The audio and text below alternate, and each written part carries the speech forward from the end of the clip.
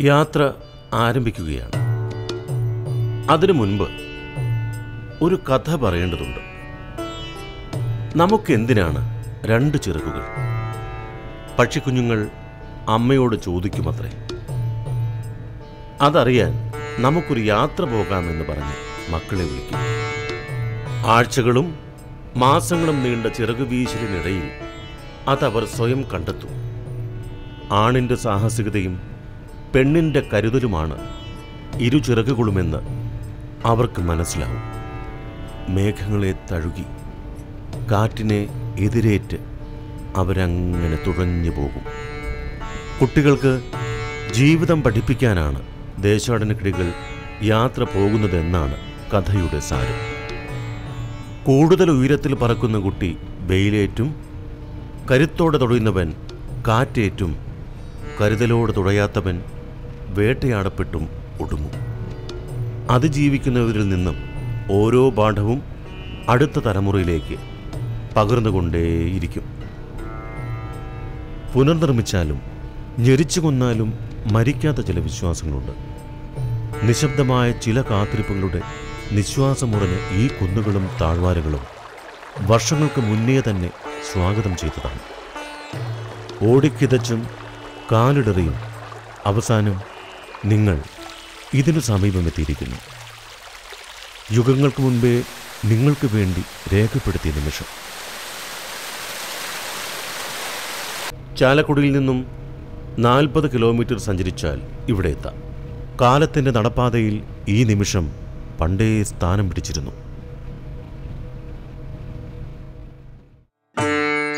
എല്ലാ സഞ്ചാരങ്ങൾക്കും ഒരു താളമുണ്ട്. സ്വാതന്ത്ര്യത്തിന്റെ ലഹരിയുണ്ട്.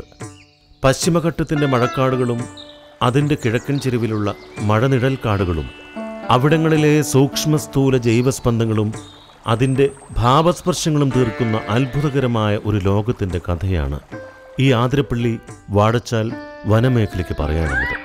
ഭൂമിയിൽ അവശേഷിക്കുന്ന ആദിമ സത്യത്തിന്റെ പച്ചപ്പാണ് ആഗ്രഹം.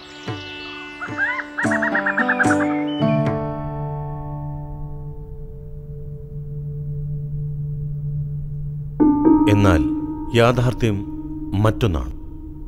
ദുരന്തങ്ങൾക്ക് വേദിയായ സ്ഥലങ്ങളിലേക്ക് സഞ്ചരിക്കുന്നതിനെയും ചരിത്ര യാഥാർത്ഥ്യങ്ങൾ നേരിട്ടറിയുവാൻ എത്തുന്നതിനെയുമാണ് ഡാർക്ക് ടൂറിസം എന്ന് വിളിക്കുന്നത്. ഡാർക്ക് ടൂറിസത്തിന്റെ വിവിധ വശങ്ങളെപ്പറ്റി പഠനം നടത്തുന്നതിനായി central Lancashire university institute for dark tourism എന്ന പേരിൽ ഒരു പഠന കേന്ദ്രം ഈയിടെ സ്ഥാപിക്കുകയുണ്ടായി. അവരുടെ പുതിയ പഠനങ്ങൾ കാണിക്കുന്നത് ദുരന്തങ്ങൾ നടന്ന ഇടങ്ങൾ കാണാനുള്ള പ്രവണത കാര്യമായ തോതിൽ വർദ്ധിക്കുന്നുവെന്നാണ് ന്യൂയോർക്കിലെ നയൻ ബാർ ലെവൻ ഭീകരാക്രമണ പ്രദേശം ജർമ്മനിയിലെ നാസി ക്യാമ്പുകൾ ഉക്രൈനിലെ ന്യൂക്ലിയർ ദുരന്ത കേന്ദ്രം ഹിരോഷിമ തുടങ്ങിയവയാണ് സഞ്ചാരികളെത്തുന്ന പ്രമുഖ പ്രദേശങ്ങൾ. ആ ഇടങ്ങളിലൊന്നായി അതിരപ്പള്ളിയും ഉൾപ്പെട്ടേക്കാം.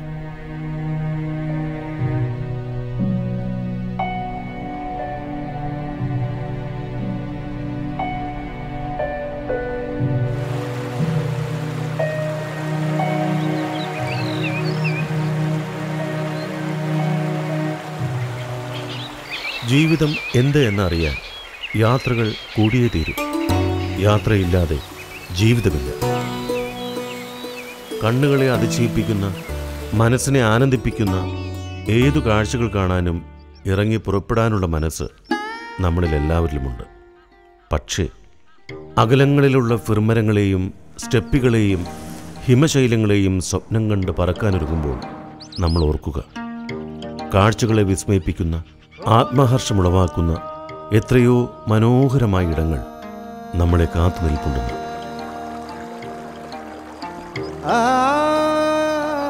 വിദേശ സഞ്ചാരങ്ങളുടെ പൊങ്ങച്ചം പറച്ചിലുകൾക്കിടയിൽ നമ്മൾ നമ്മുടെ നാടിന്റെ മനോഹാരിത സൗകര്യപൂർവം കണ്ടില്ലെന്ന് നടിക്കുന്നു. കയ്യെത്തം ദൂരത്തുള്ള ചില കാഴ്ചകളും അവ പകർന്നു തരുന്ന വെളിപാടുകളും നമുക്കൊന്ന് കണ്ടറിയാം.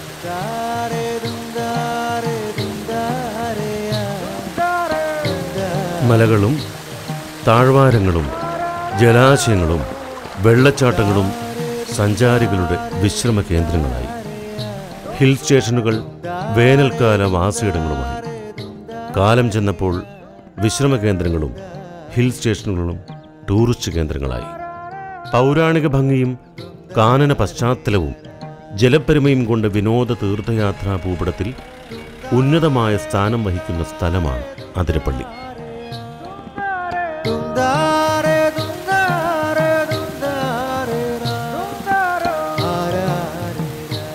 ഇന്ന് വിദേശികൾക്കൊപ്പം ആഭ്യന്തര ടൂറിസ്റ്റുകളും ഇവിടേക്ക് ഒഴുകി വരുന്നു. തിരക്ക് പിടിച്ച ജീവിതത്തിൽ നിന്ന് ആകുലതകളിൽ നിന്ന് അവധിക്കാലത്തെ മുഷിപ്പിൽ നിന്ന് അല്പം മാറി നിൽക്കാൻ മനസ്സ് കുളിർപ്പിക്കാൻ തണുപ്പിന്റെയും പച്ചപ്പിന്റെയും സ്വപ്നങ്ങൾക്കുള്ളിലേക്ക് ഒളിച്ചോടാൻ ഒരിടം കൊതിക്കുന്നവരാണ് നിങ്ങളെങ്കിൽ നിങ്ങൾക്കുള്ള സ്വർഗമാണ് ഈ ഹരിതാഭമായ മലയിടുക്കുകൾ. തുമ്പൂർ മൊഴിയും അതിരപ്പള്ളിയും വാഴച്ചാലും അയൽപക്കത്തെ കളിക്കൂട്ടുകാരെ പോലെ കൈകോർത്ത് നിൽക്കുന്ന ഈ ടൂറിസം സർക്യൂട്ടിന് പകരം വയ്ക്കാൻ കേരളത്തിൽ മറ്റൊരിടം ഇല്ല.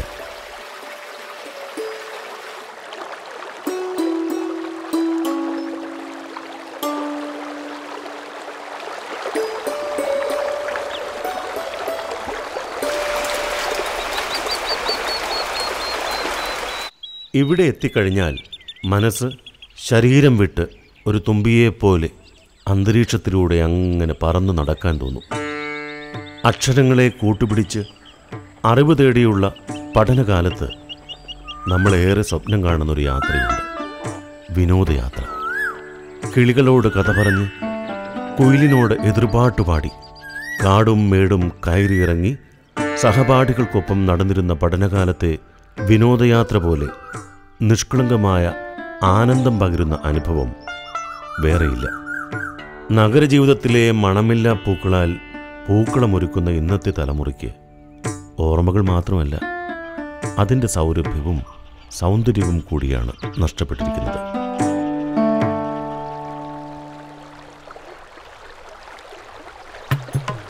തുമ്പൂർമൊഴി മൂവായിരത്തി അഞ്ഞൂറ് ഏക്കർ സ്ഥലത്ത് ഇപ്പോൾ ജലസേചന പദ്ധതി നടത്തുന്നുണ്ട്.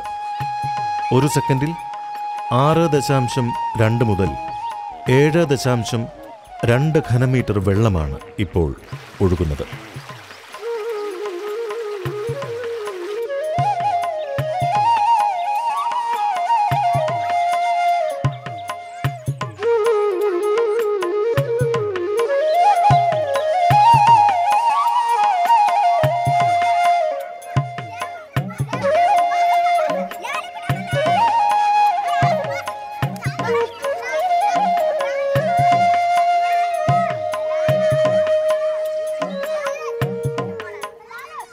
വൻമരങ്ങൾ അതിരിട്ട തീരത്ത് ആകാശത്തിന്റെ വെള്ളക്കീറും ഒരു ചിത്രകാരന്റെ കയ്യൊപ്പ് പോലെ. അതിൽ മുഖം തൊട്ട് നിൽക്കുന്ന മലകൾ. ഓളങ്ങൾ അനങ്ങാതെ പ്രശാന്തമായി ചിലപ്പോഴൊക്കെ. ചിലപ്പോൾ രൗദ്രഭാവത്തിൽ കാടിന്റെ മുഖം തെളിഞ്ഞ വെള്ളത്തിൽ കാണാം. മേഘശകലങ്ങൾ ഇല്ലാത്ത നീലാകാശത്തിന് അതിരുകൾ നിശ്ചയിക്കുന്ന കുന്നുകളിൽ നിന്ന് തണുത്ത കാറ്റിറങ്ങി വന്ന് ചെവിയിൽ ചൂളമടിക്കാൻ തുടങ്ങും.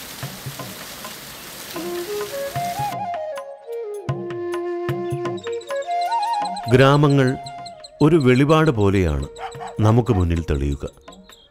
അതുവരെ കേട്ടറിവ് പോലുമില്ലാത്ത ഒന്ന്. അവയെ അന്യമാക്കുന്ന നിറങ്ങളും താളവും ഗന്ധവുമെല്ലാം അന്നോളം അപരിചിതമായിരിക്കും. അതിരപ്പള്ളി അതുപോലൊരു അനുഭവമാണ്.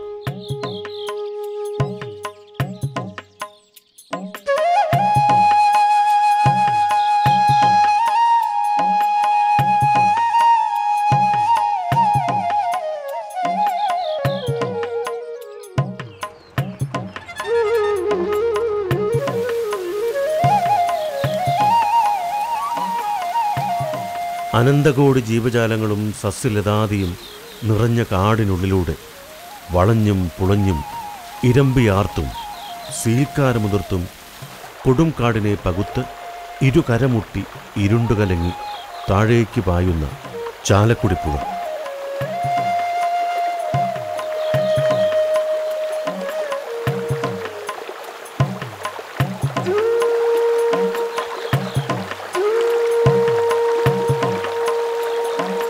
ബ്രിട്ടീഷ് ഉദ്യോഗസ്ഥർക്ക് താമസിക്കാനുള്ള ഗസ്റ്റ് ഹൗസ് ആയിട്ടായിരുന്നു ഇതിന്റെ നിർമ്മിതി. വിശാലമായ മുറികളും അങ്കണവും പൂന്തോട്ടവും ഉദ്യാനവും ഫയർപ്ലേസ് ഒക്കെയുള്ള അസൽ വേനൽക്കാല വസതി വെള്ളച്ചാട്ടത്തിലേക്ക് കണ്ണു തുറന്നിരിക്കുന്ന പൂമുഖം. വഴിയിലുടനീളം കേൾക്കാം വെള്ളച്ചാട്ടത്തിന്റെ ഇരമ്പൽ.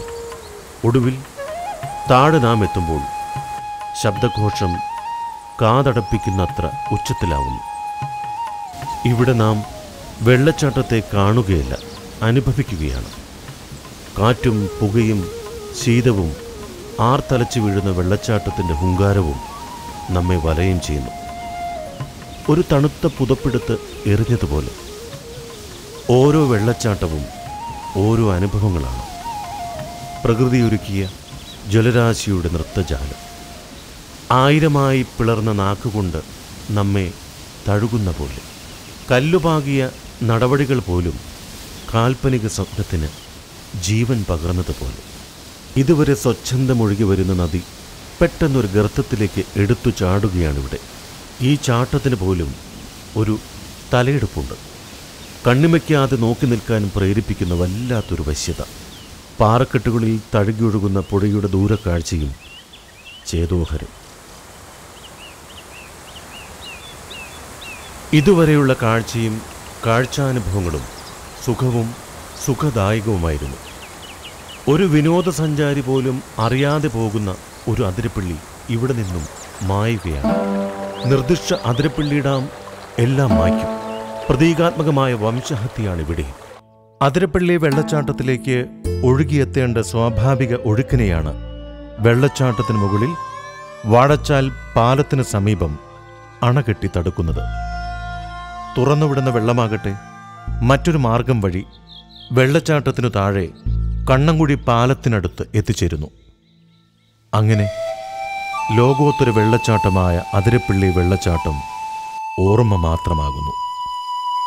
ആകെ നൂറ്റി അറുപത്തിമൂന്ന് മെഗാവാട്ടിന്റെ വൈദ്യുത പദ്ധതിയാണ് വിഭാവനം ചെയ്തിരിക്കുന്നത്. വേനൽ വരൾച്ചയിലാകട്ടെ ഇത് മുപ്പത് മെഗാവാട്ട് മാത്രം. ആകെയുള്ള ആയിരം ഹെക്ടർ വനത്തിൽ നിന്നുമാണ് സമ്പുഷ്ടമായ നൂറ്റിനാല് ഹെക്ടർ ഇല്ലാതാകുന്നത്. മറ്റ് ഭൂരിഭാഗവും നശിച്ചു കഴിഞ്ഞു.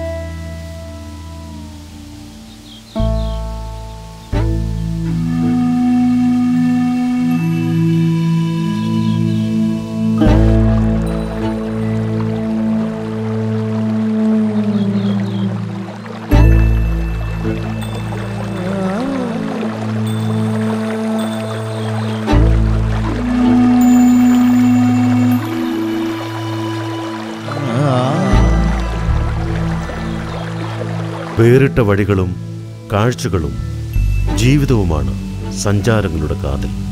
ജീവന്റെ നിറവും മണവുമുള്ള കാഴ്ചകൾ. ജീവിതം ഇങ്ങനെ ചില നിമിഷങ്ങളെ നമ്മുടെ മുഖത്തേക്ക് എറിഞ്ഞു തരും. മേഘങ്ങൾ ഉരുണ്ടുകൂടുമ്പോൾ കനമുള്ള തുള്ളികൾ മുഖത്ത് പതിക്കുമ്പോൾ ഒക്കെ. ആ നിമിഷം മുതൽ നിങ്ങൾ ജാഗരൂകരാകും ആ നിമിഷങ്ങളിൽ കൈവരുന്ന സൗഹാർദ്ദങ്ങളാകട്ടെ. ജീവിതകാലം മുഴുവൻ നിലനിൽക്കുകയും ചെയ്യും. അതാവണം ഏകാന്തയാത്രയ്ക്കുള്ള അവസരങ്ങൾ ഒന്നും നാം പാഴാക്കാത്തത്. ഏകാന്തയാത്രകൾ തമാശയല്ല. ചോദ്യങ്ങൾ ഒന്നിനു പിറകെ മറ്റൊന്നായി വെറുതെ ഉള്ളിൽ ഉയർന്നു വരും. ചില കുസൃതികളും ചിന്തകളും അനുഭവങ്ങളും ജീവിതത്തിലെ ഓരോ നിമിഷത്തെയും മനോഹരമാക്കുന്നുവെങ്കിൽ വെറുതെകൾ ഇനിയും ഉണ്ടാകട്ടെ എന്ന് ആഗ്രഹിക്കാൻ തോന്നും.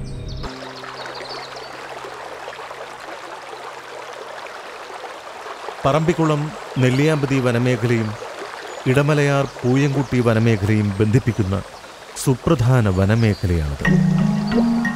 ഈ രണ്ട് സുപ്രധാന വനപ്രദേശത്തേക്കുമുള്ള മൃഗങ്ങളുടെ അവശേഷിക്കുന്ന ഏക സഞ്ചാരപാതയാണ് വെള്ളത്തിനടിയിലാകുന്നത്. വേനൽക്കാലത്ത് പെട്ടെന്ന് വരണ്ടു പോകുന്ന പറമ്പിക്കുളത്തു നിന്നും പെരിയാർ മേഖലയിലേക്കും തിരിച്ചും ആനകൾ സഞ്ചരിക്കാൻ ഇന്നവശേഷിക്കുന്ന ഏക മാർഗമാണ്. കാലവർഷത്തിന് മുൻപായി നടക്കുന്ന ആറിനങ്ങളിൽപ്പെട്ട ആയിരക്കണക്കിന് ശലഭങ്ങൾ പങ്കെടുക്കുന്ന യാത്രകൾ മുതൽ കാർപ്പ് മുതലായ മത്സ്യങ്ങളുടെ താഴ്ന്ന നിലങ്ങളിൽ നിന്നും ഉയർന്ന പ്രദേശത്തേക്കുള്ള യാത്രകളും ഇതോടെ അവസാനിക്കും. ഈ പ്രദേശത്തെ മാത്രം പ്രത്യേകതയായ പുഴയോര കാടുകൾ ഇല്ലാതാകും വിസ്തീർണമുള്ള സ്വാഭാവിക വനപ്രദേശത്തിന് പകരം വയ്ക്കാൻ നമ്മൾ നടന്ന ഒറ്റ മരങ്ങൾക്കാവില്ല അപ്പോഴും തർക്കം ബാക്കിയായേക്കാം. അശോകവും ആലുമൊക്കെ മരം തന്നെയാണോ എന്ന്. പരിസ്ഥിതി മന്ത്രാലയം ആദ്യം അനുമതി നിഷേധിച്ച പദ്ധതിയാണ് അതിരപ്പള്ളി ജലവൈദ്യുത പദ്ധതി. പിന്നീട് വേഴാമ്പലുകളെ പോലും മാറ്റിപ്പാർപ്പിക്കാനാവുമെന്ന് വിദഗ്ധർ കണ്ടെത്തുകയും സമവായത്തിനായി പദ്ധതി വീണ്ടും എത്തുകയും ചെയ്തു. ചാലക്കുടി പുഴയിലെ ഏഴാമത്തെ അണക്കെട്ടായിരിക്കും നിർദ്ദിഷ്ട അതിരപ്പള്ളി ഡാം അതിരപ്പള്ളി വൈദ്യുത പദ്ധതി വരുമ്പോൾ നഷ്ടമാകുന്നവ ഇവയൊക്കെയാണ്. ലോകപ്രസിദ്ധമായ അതിരപ്പള്ളി വെള്ളച്ചാട്ടം അപ്രത്യക്ഷമാകും. നൂറ്റിനാല് ഏക്കർ നിത്യഹരിതവനം മുങ്ങി നശിക്കും. ഇരുപത് ഇരുപത്തിയഞ്ചോളം പഞ്ചായത്തുകളുടെ കുടിവെള്ളവും ജലസേചനവും നിലയ്ക്കും. പെരിയാർ വീണ്ടും ശുഷ്കമാകും. മുപ്പതോളം വംശനാശ ഭീഷണി നേരിടുന്ന സസ്യങ്ങൾ നശിക്കും. പാർക്കാൻ ഉയരവും പ്രായവും ഏറെയുള്ള മരങ്ങൾ ആവശ്യമുള്ള വേഴാമ്പലുകൾ നശിക്കും. ഏഴാമതും കുടിയൊഴിക്കപ്പെടുന്ന ആദിവാസികളുടെ പ്രശ്നങ്ങൾ വേറെയും വളരെ തുച്ഛമായ വൈദ്യുതി മാത്രമാണ് ഇത്രയുമൊക്കെ വില കൊടുത്താൽ പോലും ലഭിക്കുക.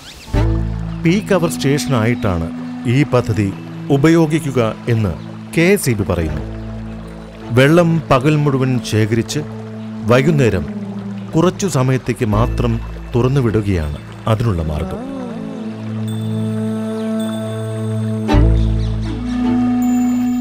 പ്രാചീന ഗോത്രവർഗത്തിൽപ്പെട്ട ആദിവാസി സമൂഹമാണ് കാടർ. പുഴയെയും വനത്തെയും ആശ്രയിച്ചു കഴിയുന്ന ഇവർ വനസമ്പത്തിന്റെയും തനത് വിജ്ഞാനങ്ങളുടെയും സ്രോതസ് കൂടിയാണ്.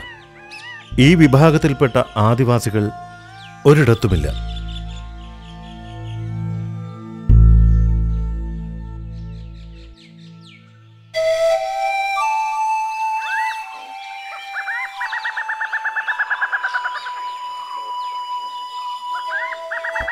ഹിമാലയത്തേക്കാൾ പ്രാക്തനമായ പശ്ചിമഘട്ടമെന്ന അത്ഭുതത്തെ ക്രമാനുഗതമായി ഇല്ലാതാക്കുന്നവരോടുള്ള രോക്ഷം ഒറ്റപ്പെട്ടെങ്കിലും ഉച്ചത്തിൽ പറയുന്നവരുടെ മതം മറ്റൊന്നാണ്. ആദിവാസി ഗോത്രഭാഷകളാണ് നാശഭീഷണിയുടെ മുൾമുനയിലുള്ളത്. എഴുത്തുൾപ്പെടെയുള്ള വിശേഷ വ്യവഹാരങ്ങളും ചിന്താപരവും ഭാവനാപരവുമായ ഇടപെടലുകളും നടക്കാത്ത നടക്കാനാവാത്ത സാഹചര്യങ്ങളുള്ള ഭാഷകൾ സമീപത്ത് വരുന്ന ഗുണഗണമേറിയ ഭാഷയിൽ നിന്നും ഭീഷണി നേരിടുന്ന കാഴ്ചകളാണ് കാണാൻ കഴിയുന്നത്. പ്രതീകാത്മകമായ വംശഹത്യയാണ് ഇവിടെ നടക്കുന്നത് എന്നും പറയാം. എല്ലാ ഗോത്രവിഭാഗത്തിനും തനതായ ഭാഷയും വ്യവഹാര രീതികളും ജീവിത രീതികളുമാണുള്ളത് സ്വന്തമായ ലിപി ഇല്ലെങ്കിലും ഈ ഭാഷകൾക്കെല്ലാം സ്വതന്ത്രമായ അസ്തിത്വമുണ്ട്. സ്വന്തം കഥകളും പാട്ടുകളും പടഞ്ചൊല്ലുകളും നാടകങ്ങളുമുണ്ട്. കൃത്യമായ വ്യാകരണ നിയമങ്ങളുമുണ്ട്.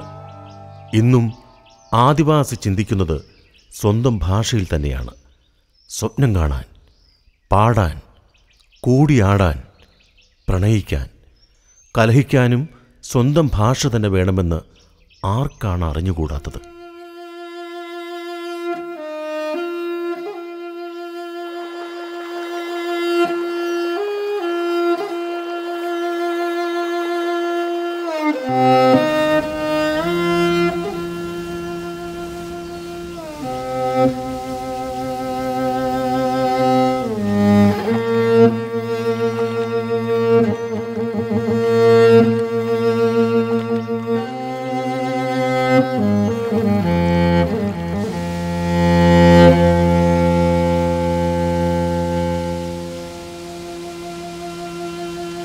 കാട്ടിലെ ഓരോ കാലടിയും ജൈവ ഏകാഗ്രതയോടെ വെക്കേണ്ട ഒന്നത്രേ. ഒരു പാദസ്പർശം കൊണ്ട് പോലും ഒരു തളിരിനെയോ പുഴുവിനെയോ എന്തിന്? ഒരു പരാഗ പരാഗരേണുവിനെ പോലും വേദനിപ്പിക്കരുത്. കാട്ടിലേക്ക് കാടറിയാത്തവർ പോകരുതെന്നാണ് മതം. കാട് ധ്യാനിക്കുന്നവർക്കുള്ളതാണ്. പ്രിയപ്പെട്ട പ്രകൃതി സ്നേഹികളോട് കാട്ടിൽ കാട്ടുപോയികയുടെ കരയിൽ സസ്യജാലങ്ങൾ നട്ടുപിടിപ്പിക്കുന്ന നിങ്ങൾ ദയവായി കാടിനെ കാടായി വളരാൻ അനുവദിക്കൂ. കാടിന് അലങ്കാരങ്ങൾ ആവശ്യമില്ല. അക്ഷരത്തിലും ധ്വനിയിലും അത് ഭംഗിയാക്കാനുള്ളതല്ല കാത്തു സൂക്ഷിക്കാനുള്ളതാണ്. ആ സത്യമാകട്ടെ ജീവദായകമാണ്.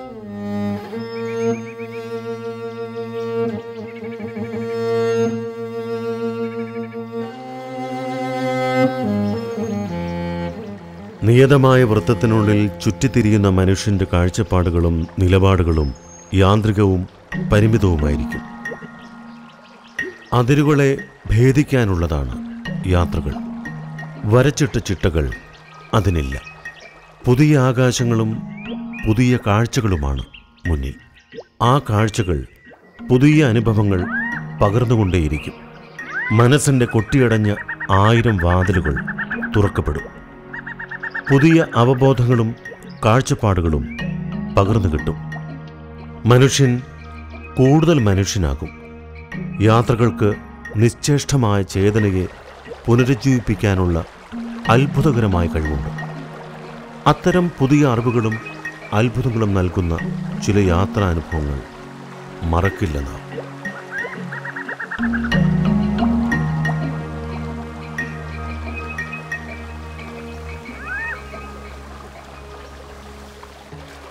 വികസനങ്ങളുടെ ഊർജദാഹങ്ങളെ മാറ്റി നിർത്തുക.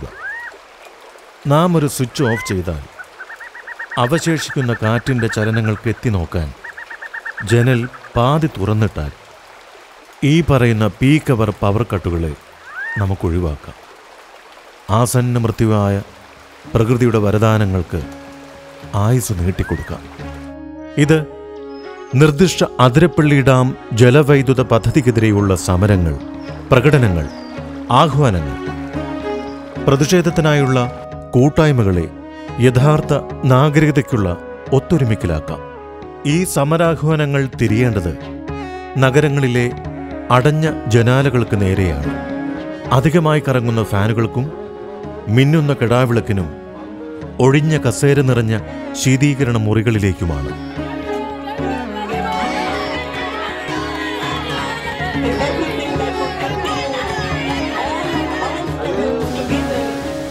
ചാലക്കുടി പുഴയ്ക്ക് കുറുകെയുള്ള ഏഴാമത്തെ ഡാമാണ് അതിരപ്പള്ളി ഡാം. എന്നിട്ടും വറ്റാതെ ചുരത്തുകയാണ് പ്രകൃതി. ഇനിയും ശമിക്കാത്ത ഊർജദാഹങ്ങൾ കൊല്ലും വരെ.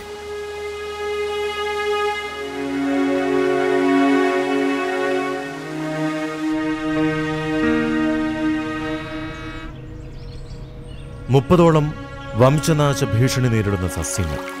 ഏഴു പതിറ്റാണ്ടിനു ശേഷം കണ്ടെത്തിയ ചാർപ്പ മരത്തവള കൂടാതെ ഇവിടെ നൂറ്റി അൻപത്തി ഒൻപതിനം ചിത്രശലഭങ്ങളുണ്ട്. അതിലൊൻപതെണ്ണം കേരളത്തിൽ മാത്രം കാണപ്പെടുന്നു. പതിനാലെണ്ണം ആയിരത്തി തൊള്ളായിരത്തി എഴുപത്തിരണ്ടിലെ വന്യജീവി സംരക്ഷണ നിയമത്താൽ സംരക്ഷിക്കപ്പെട്ടിരിക്കുന്നവയാണ്. ഇത്തരത്തിൽ സംരക്ഷിക്കപ്പെട്ടിരിക്കുന്ന ജീവികളെ പിടിക്കുന്നതും കൈവശം വയ്ക്കുന്നതും ഇന്ത്യയിൽ കുറ്റകരമാണ്.